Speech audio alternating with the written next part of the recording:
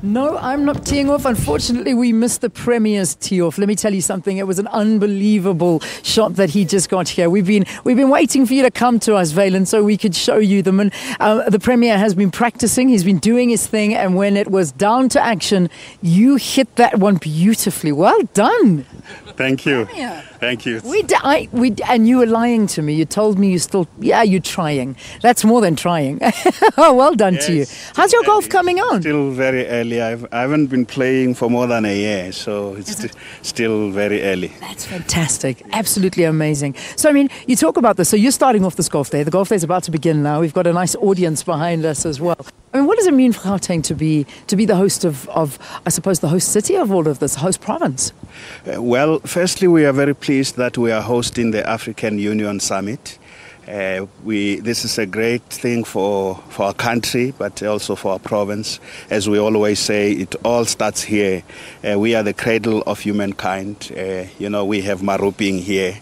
So every human being, every African is coming back home. And we're very pleased to be part of uh, the Golf Day today. I think the whole idea is for the African Union to raise resources from, from Africans themselves. We as Africans must fund our vision, we must fund our plans, uh, because we can't rely on uh, other countries, other dispensations to fund our development. So the, the golf, the AU summit, uh, this presidential golf day today, it's a it's, it's an important contribution to the AU Foundation. Very important development interventions made by the foundation. Women uh, empowerment and gender equity, youth development and skills development, as well as uh, diversity training to get, to get our people across the continent to understand we are one Africa, you know, to work for African unity and Pan-African solidarity. So as a province, we are, we are also a very important golfing destination. Indeed, we You are. know.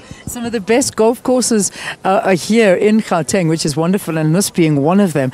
Um, just tell me, how is it going to work? I mean, is it really just a uh, this particular day? Is it a is it a, a, a business golf day where businesses are coming, they're paying to be a part of it? Um, a lot of donations being made as well. All of this uh, for the African continent. Yes. Um, firstly, uh, yes, it's a fundraising activity. Very, very important. Business people have been brought together to come and, and support uh, the AU Foundation, as I said earlier on. Uh, but it is also a beautiful day, you know, for golfers. You can see them here.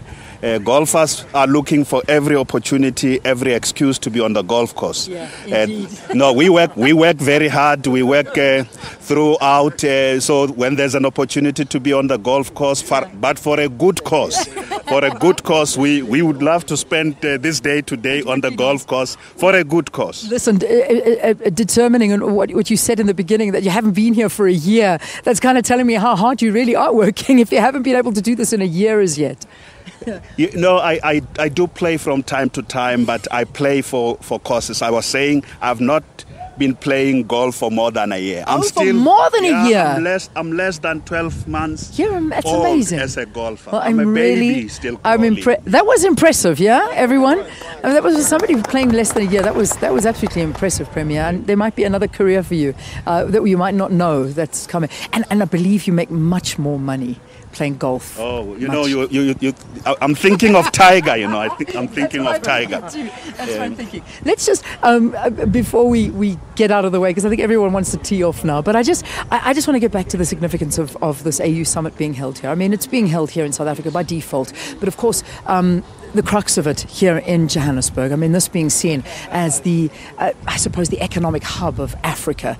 What are we doing? What, what is happening uh, behind the scenes in the background in Johannesburg with a lot of the leaders that are coming together and, and, and Johannesburg. What are we doing for all of this? You know, for the, the, the, for the number of African heads of states and heads of governments who are here, again, I want to say that it is a great pleasure for us as a province to, uh, to host. Uh, uh, the African leaders in our province. Uh, we, as you said correctly, we are an economic hub and an industrial hub of not just the SADC region but for the continent. Uh, so it gives us an opportunity as a country uh, to uh, show that we're working hard for African unity and Pan African solidarity. You know, one of the, the things we're redressing is that there have been those uh, xenophobic uh, attacks, uh, violence against uh, our fellow African brothers and sisters. So, one of the important messages we want to send out there is that uh, South Africans are not xenophobic people. We understand our place, our role and place in the African continent. We would like, we can't define our future outside Africa. Uh, we would like to contribute to African unity, uh, the, the, regeneration of Africa. So, one of the important things in the next few days we will be talking about here is how we strengthen this. Uh, business people who are in our province, uh, who are in our country, have to do, they must have a pan African perspective. They have to go out into Africa and do. There are major, many opportunities, unexplored opportunities in our continent. And the rest of the world, Asia, Europe, and uh, the Americas know that Africa is the center of gravity in the next 50 years. But we Africans still have to wake up to the reality that we are the center of the world.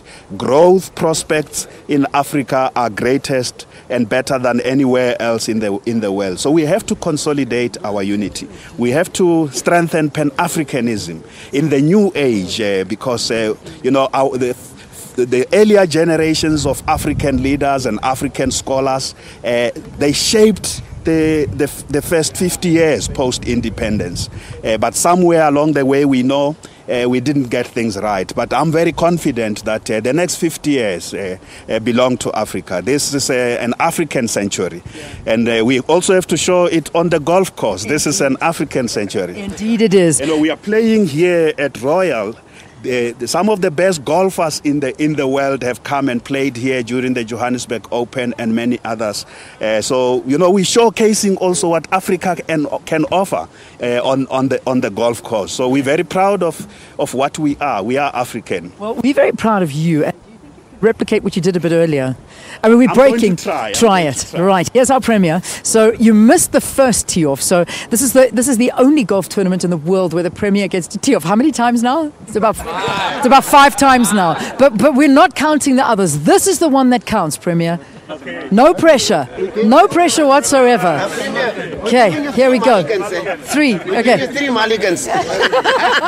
right, here we go. This is the start of the golf day, the official tee off. This is the official tee off. Now watch the pressure mounting. I'll keep quiet. Here we go. Oh, Gauteng Premier David Makhura.